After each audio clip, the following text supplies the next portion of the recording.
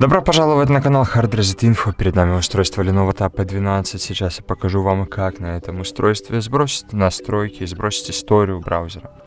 Открываем браузер. В правом верхнем углу нажимаем на троеточие и нажимаем настройки.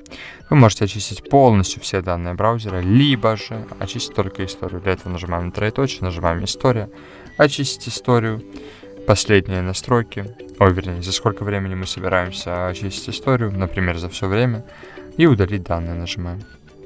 Я что-то промахнулся. Очистить историю за все время и удалить данные. Все, история была успешно очищена.